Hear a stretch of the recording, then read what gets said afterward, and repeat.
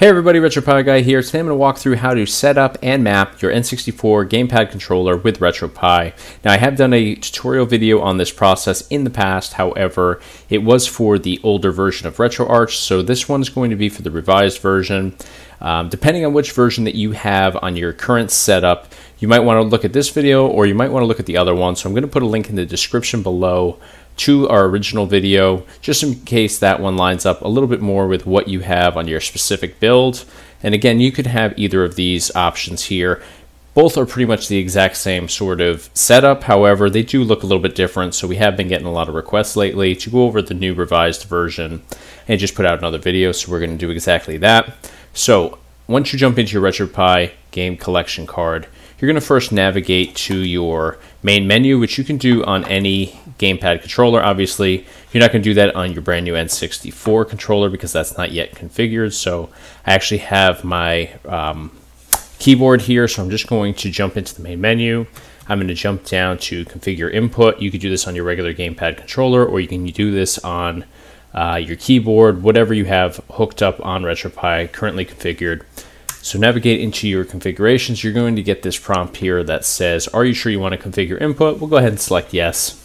And now we are going to grab our N64 controller here. Make sure that it's fully plugged into your Raspberry Pi. And we're just going to hold down any button on our gamepad controller.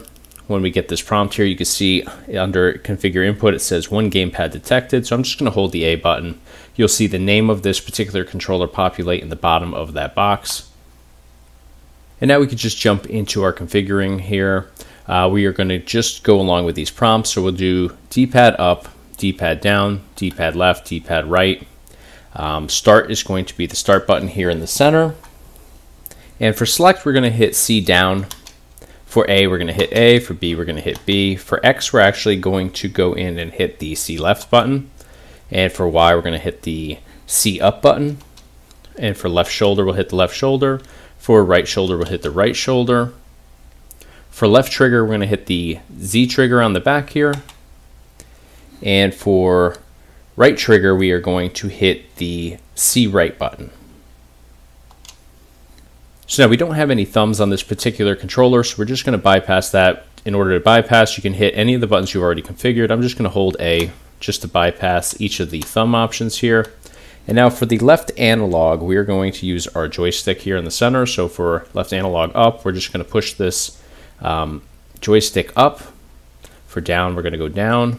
For left, we're going to go left. And right, we're going to go right. Now for the right analog, we don't have another analog on here, so we're just going to bypass that. Again, hit any button you've already configured. I'm just going to hit A, bypass each of these right analog functions. And now for the hotkey, we are going to hit the Z trigger once again. So obviously for the hotkey, um, we're not going to be hitting just the trigger in order to exit games. We're going to hit the trigger and the start, and that's always going to exit you back to your game collection menu from any ROM that you're already in. So just to confirm all of these mappings, we're just going to hit OK. To hit OK, we'll just hit the A button here. It'll load for a moment or two and we'll advance right past this back to our main menu. So you can see just navigating the D-pad here, we're able to go up and down. So I'm going to hit B to back out of this and we're going to jump into N64. And we're just going to jump into any title here. I always go to Mario Kart 64. That's just the one I'm most familiar with in this particular collection. I know exactly how everything's supposed to be laid out in terms of the controls, so I can easily assess whether it's been uh, configured correctly or if there's an issue. So that's just the one I'm jumping into. I'm going to let this load for a second here. Once we get to our first screen in the actual ROM, we're going to hit the Z trigger and the C left button to open up RetroArch. So we see that our controller is loaded in on the left hand side. So I'm going to just hit again that Z trigger and C left. It opens up this RetroArch menu and we have to hit the B button to back out one page. You see that we back out to the quick menu. Now we're going to navigate over to the right to settings and drop down to input. Next we're going to go all the way down here to port 1 binds and we're going to continue down here and you'll see all of the uh, different mapping options here. It's very similar to what we just saw on RetroPie. However, this one is laid out a little bit differently. So for each of these options, we have to just map them. Some of them are mapped correctly, some of them aren't. So we're just going to go one by one, pretty much exactly what we did before. So how this works is this is the A button here. So we're going to select it with the A button, and then we will hit the A button, and that assigns the function to that particular button. Same thing with B, we'll select it with A, and then we'll hit the B button. We'll go down to start, select it with A, hit the start button. Same for all the D-pad options here select it, D-pad up, select it, D-pad down, select it, D-pad left, select it, D-pad right. Now we'll go over to shoulder, left shoulder, select it, right shoulder, Z trigger, select it with A, pull the Z trigger in the back. And now this is where it starts to look a little bit different than the other version of RetroArch. So we're going to actually bypass the control stick options that are all um, set to auto here on the right hand side and we're going to go right down to C buttons. So again, this is where it differs from the previous tutorial that we did on the older version of RetroArch. So in order to do this correctly now, we need to go in here and assign each of these C buttons. So the first one we're going to do, which is C button X, and you'll notice that the first one and the second one look exactly the same. So this is where it gets a little bit confusing. So for the first C button X, we are going to go with C right. So I selected C right here. You'll see that that populates on the screen as 1. Go to the next option for C button X. And for this one, we're going to do C button left. So we'll select it with A, C button left. That's going to populate as number 3. Next one is C button Y, the first one.